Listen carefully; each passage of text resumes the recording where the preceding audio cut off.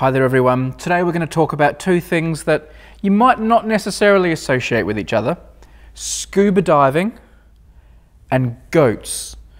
Now, I'm not the biggest expert on scuba diving, but luckily, Keith here, when he's not working in the library, in keeping with his James Bond image, is also a man of adventure and quite a scuba diver.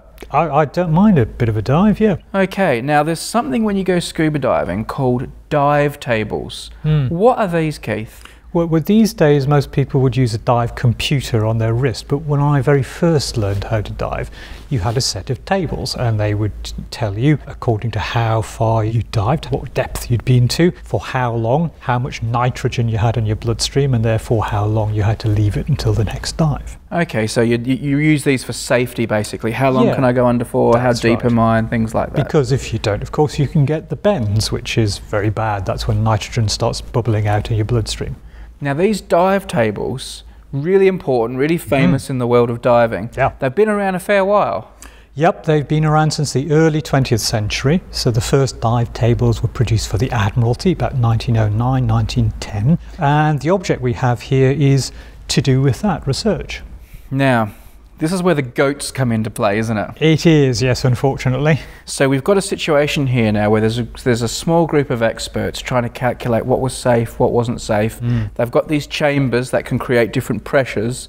Yep. They're putting goats into these chambers and seeing what happens to them. Yeah. Uh, but then doing some serious scientific analysis of the goat's tissue, right. things like yeah, that. Yeah, so John Scott Haldane is a fellow of the Royal Society and he's very interested in the effects of gases in the bloodstream. He joins forces with A.E. Boycott and G.C.C. Damant, that's Guybon, Chesney, Castell, Damant, Right. who is the chief diver of the Royal Navy. Okay. And the three of them produce a paper which in 1909 describes the prevention of illness from compressed gases.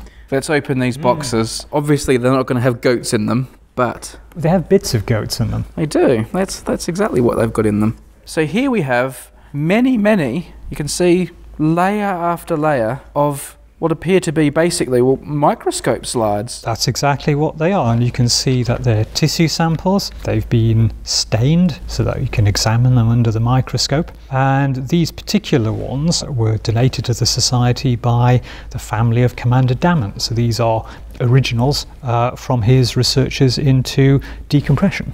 So this is the chief diver, one of those Hmm. three men who was doing this research. These are his slides of well bits of tissue that have had compression and decompression tests done on them, and which right. and which was part of this sort of really important moment when they made these tables. So we have not only the slides, but rather interestingly, a postcard here from the fellow himself. So GSH is John Scott Haldane. So this is a postcard that Haldane has sent to Damant. So you can see there, there's Damant's address. There's some lovely old stamps. This was sent in 1935. Haldane is there saying, "Oh, I've thought about what you've said, and maybe we need to change these percentages." They're still a good 20 years after their first work. Mhm. They're still talking about it.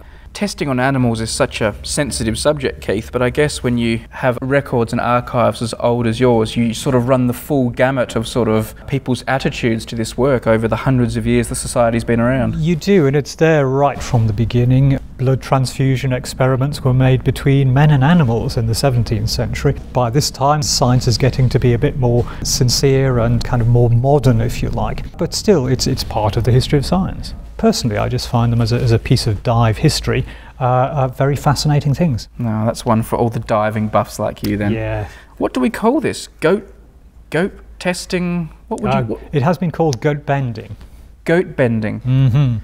because of the bends. because of the bends. they were giving exactly they were giving goats the bends. Yeah. Ah, And people too. They did experiment on one or two people as well, so it wasn't just the goats. okay. Fair's fair. He's saying to Dale, "You didn't answer my uh, letter of a couple of weeks back." Hurry up, come on, come on. Exactly right. Yeah. It's like when I email you about doing more filming. Well, exactly. Yeah. Yeah. it's exactly the same. It would be useful for me to get someone on the Royal Society Council interested in proposing H.G. Wells. So he, he's not going to let this go.